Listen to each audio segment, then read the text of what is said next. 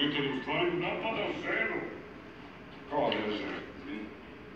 Slušaj, tvoj lik je opsadan seksom i željom za profitom. Milane, E, legendo! kako stižeš, mater? Evo da te se srećam prva klapa. Hvala ti, dragi prijatelji, hvala. Vidi kome me došlo sunce naše. Ali ljubavi, nisam mogao da se prodam. Treba si za svoju porodicu da obriješ dupe da ga izložiš na buvljoj pijaci. Malo ćemo da se stisnemo, bit će nam bolje. Ti se stiskaj! Ti! Gde su one poruštine koje si zaradio igrajući onim krševima?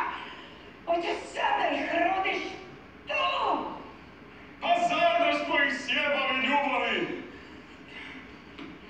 Ima si da mi žao. Ti musi da mi zavoliš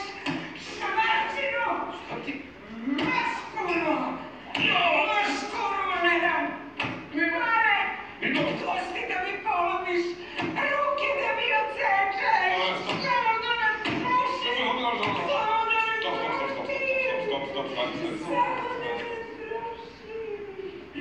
Samo, pa ne zaboravim da kažem